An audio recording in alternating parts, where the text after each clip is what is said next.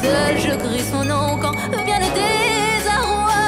Et puis tout s'effondre quand il n'est plus là. J'aimerais tellement lui dire, mais je n'ose pas. Lui qui me fait